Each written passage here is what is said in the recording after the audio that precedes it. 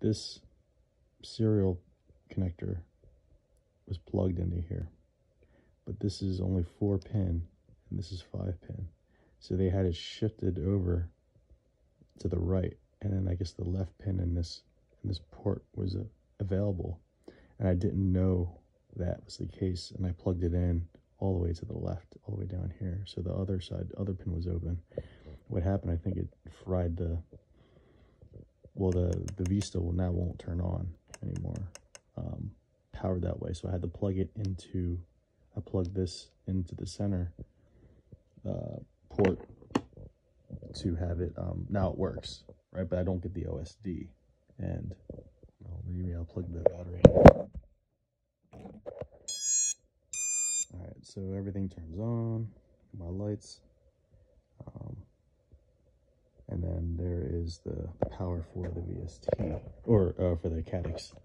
Um, now, if I plug in the other way, I'll show you how it doesn't doesn't power up. Now, I don't have my remote control on, but it works. Like, I can turn everything on. I can fly it. Um, but there's no OSD in the in the, in the FPV goggles. Now here's me, I'm plugging it into the, this is how it's supposed to come.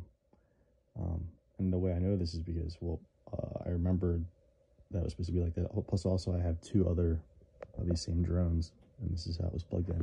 Now you can see on the, um, on the left side, there's like an opening right there, right?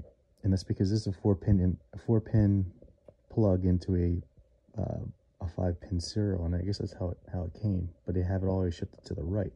But I might have accidentally plugged it in the first time over to the left. I'll show you. So now the plugged it into the left. Now the, the left pin is not showing and the right pin is free.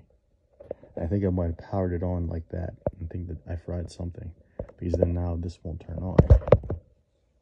I know it's supposed to be on the shifted over to the right because that's how it is on the other on the other drones. Um, now let me power it on like this and I'll show you that it does not uh, it doesn't power on the, the Vista.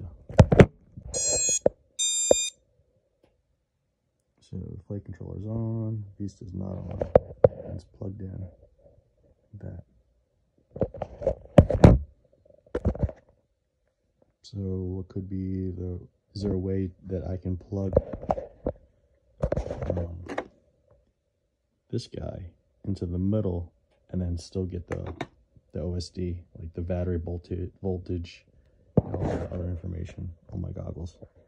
Uh, please and thank you for any answers you guys can provide.